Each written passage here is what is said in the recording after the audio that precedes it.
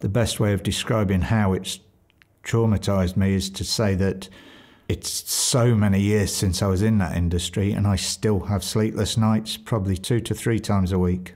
Can't sleep at all.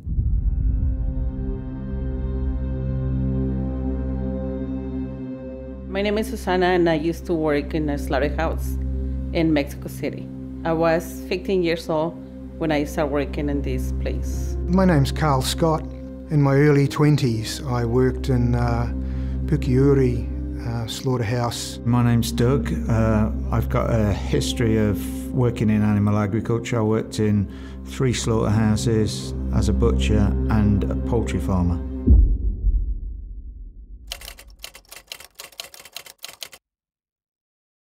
My father was a hunter and he was a slaughterhouse worker. Dead animal bodies were just a routine thing. I grew up around dead and dying animals.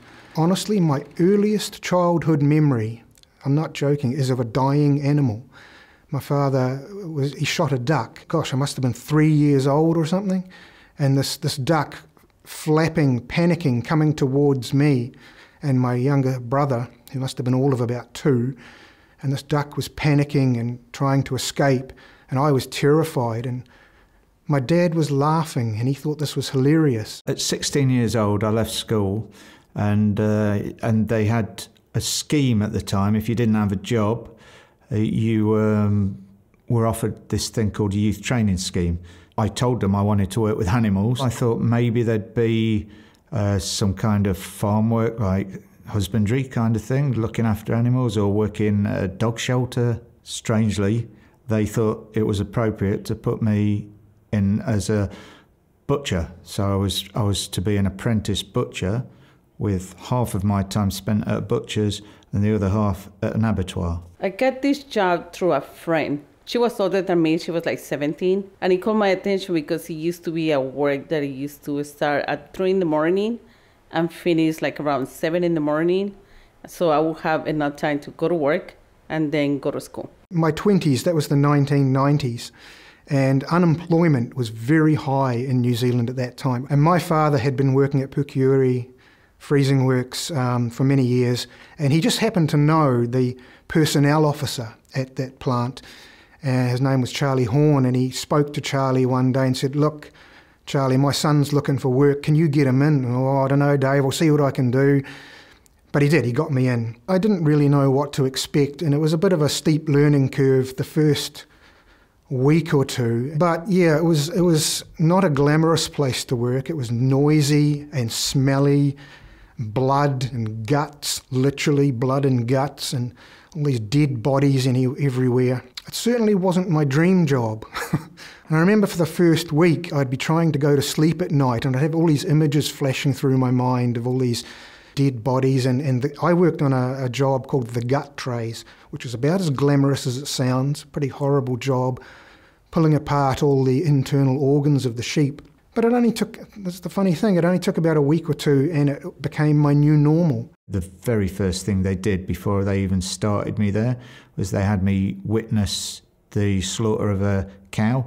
I think they must have been just gauging my reaction to see um, if I'd be appropriate to work there because I presume lots of people would see that and not be able to handle it.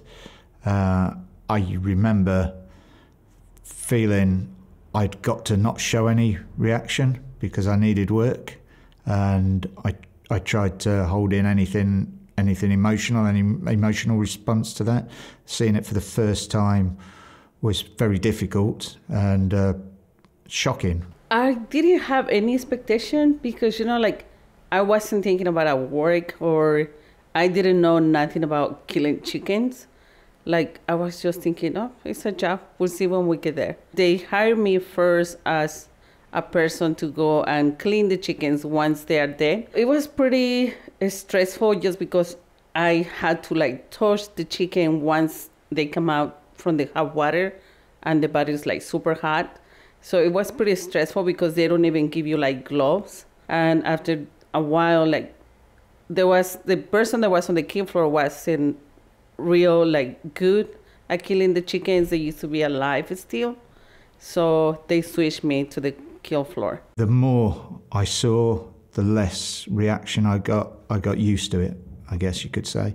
So I would, uh, the way I dealt with it was at the time I was really into my boxing and my um, weightlifting, so I saw it as a, a really good way of keeping strong and fit. If I was the guy who had to hold the hook through the cow's nose, so you, you're pulling up quite a heavy, uh, heavy animal. So it'd be like using the cables in a gym machine to do a lateral turn. So I'd be thinking of that exercise rather than the action that I was performing. There were moments when I saw things and I thought, oh, I don't like that. That's not nice. And on a couple of occasions, I didn't work on the kill floor, but a couple of times I went down to the kill floor and watched the animals being killed. And that was not nice. That kind of drove it home that this is an ugly business that I'm part of. At the time, I hardened up and just dealt with it. And sometimes reflecting back, I realised, gosh, what I saw there was disturbing, and I wonder how much it affected me that I didn't even realise. Injuries were multiple times a day. It depends on the level of injury. So, for example, when I first started in the slaughterhouse, I'd have to catch sheep and they basically put them, you pick them up, present them upside down on a rack. And uh, while, it, while you're holding it, someone would stun it with uh, electric shock and then cut its throat. And the amount of times I got electric shocks from the clamps hitting my hand rather than the sheep, I lost count several times a day, every day. They'd show me how to kill the chickens with scissors or with a knife. You know, and with the knife, it's pretty dangerous because you open the the peak of the chickens and you place the knife and you just pull the knife back and sometimes this person actually got injured because when you pull the, the knife to cut the throat, sometimes it will go through the chicken's head and it will cut your hand.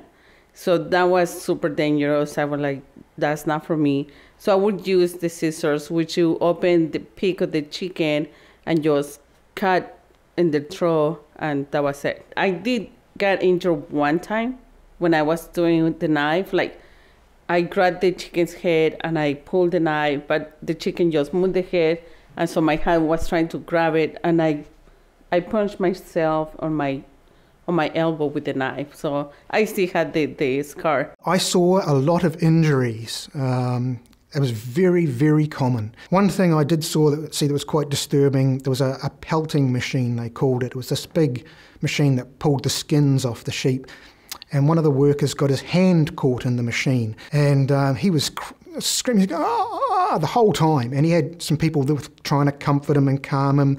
And it took about 20, 30 minutes. They had to get the engineers up to come up and undo some bolts and, and partially dismantle the machine to get this guy's hand out of it.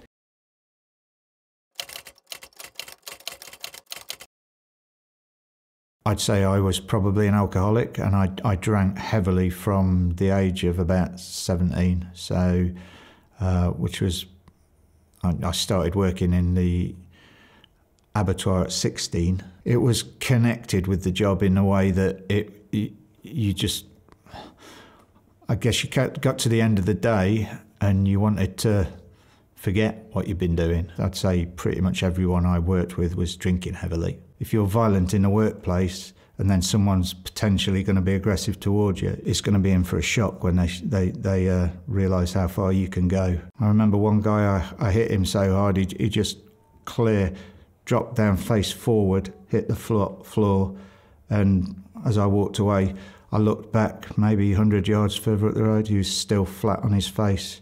No idea what happened to him, but it was a it was a good punch, I guess. But all kinds of things like broken noses, blood, whatever. And when you've seen the stuff you're seeing in a slaughterhouse, it's nothing. So it wouldn't. I wouldn't have any kind of emotional response to the violence. I think that my boss, the owner of the slaughterhouse, he used to suffer a lot with that because he was a very violent person. He will always be drinking, using drugs, like abusing his wife and nobody can say absolutely nothing back to him. Sadly, his wife, we witnessed how sometimes she would like show up with big glasses, black glasses, and we already knew because you know she was being abused by the husband. I've seen um, people break down. I've seen people. I've, I've even seen someone um, kill themselves. So it, it's pretty. And I know of people who've tried to kill themselves, me included. There was a guy.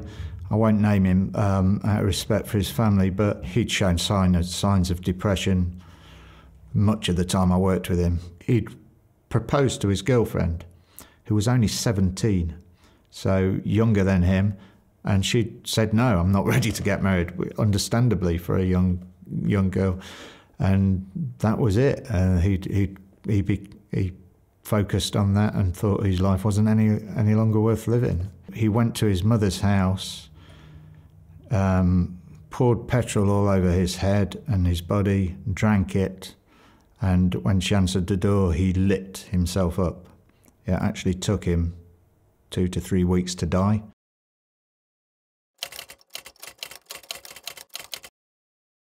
I think people have this bizarre notion that an animal just wanders in, not knowing what's going on, and someone sort of sneaks up behind it, kind of.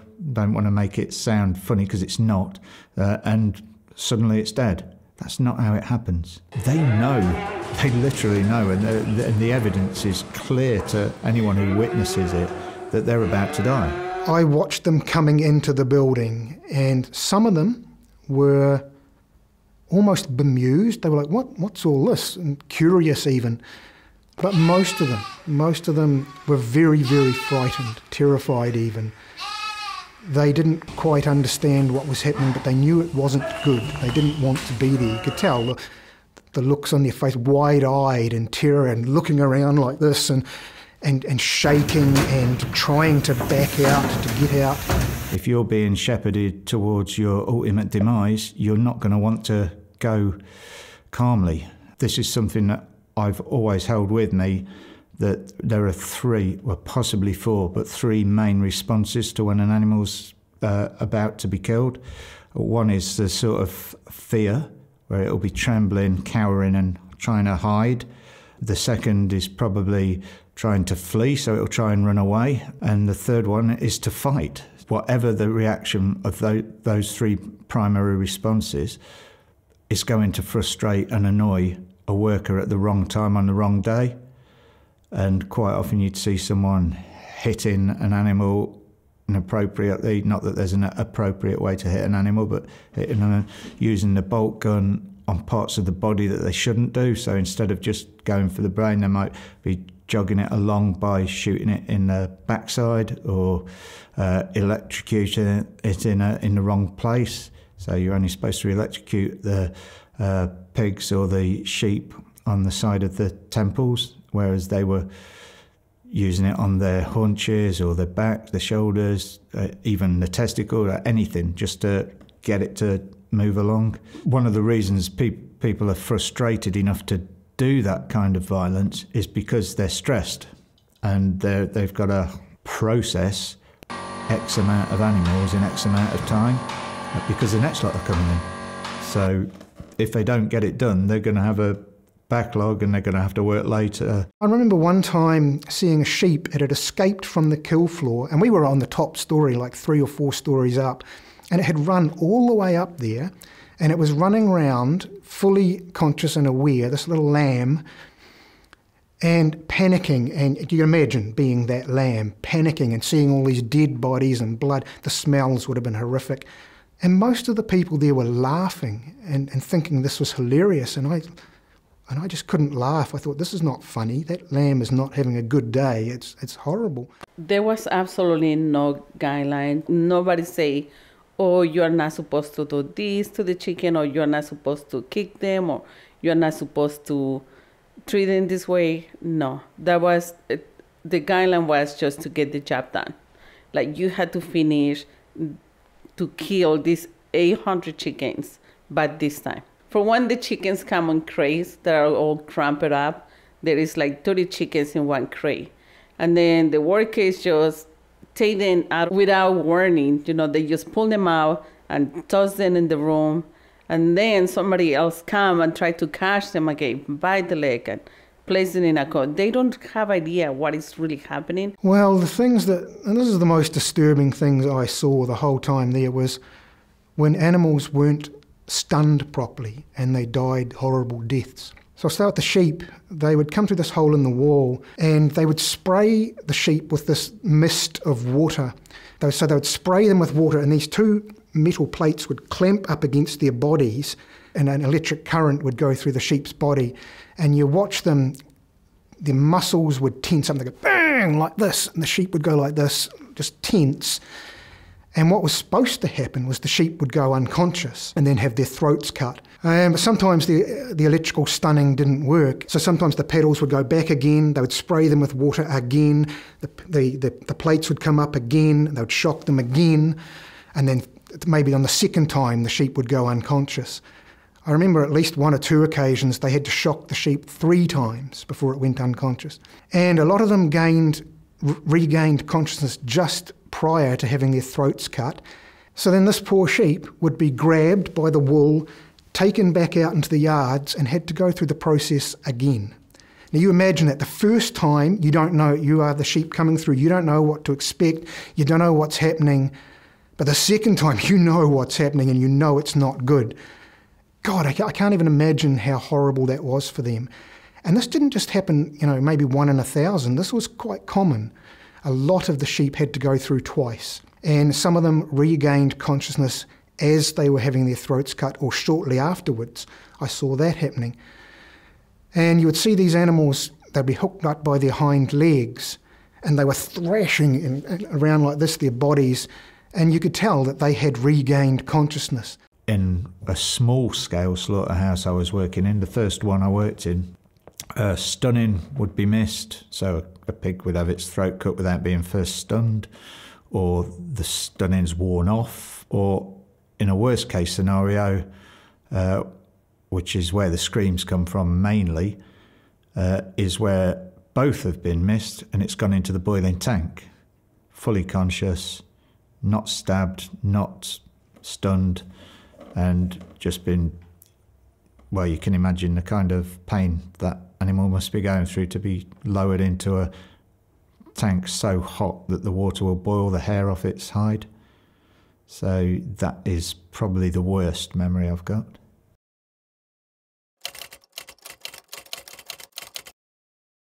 I don't know, you notice when I'm talking, it's like, oh my God, like I'm holding my tears, you know, because it's a terrible experience. Like, even though I didn't know nothing back there, it's something that I create, that I cause the harm to all these animals. And just like most of the time, it hits me when I go to vigils to, to give water to pigs, to, to see the baby cows, you know, to try to do something to protect them. It totally hits me like I was doing so much wrong before. And it's sadly I cannot change that. You know, I cannot change that, but I'm trying to change things for the generations that are coming behind me. I wish I'd never done it. I wish I'd been brought up vegan. I feel a lot of regret and a lot of guilt. And I tell myself, and, and it is true, I think, I, I was not a bad person, I was just ignorant. I, I thought humans needed meat to be healthy. I thought it was a necessary evil. Now that I know it's not, it's not necessary, I just wish I wish I hadn't done that. The best way of describing how it's traumatized me is to say that it's so many years since I was in that industry and I still have sleepless nights, probably two to three times a week. Can't sleep at all. And I see it as a my punishment, I guess, for what I was involved with.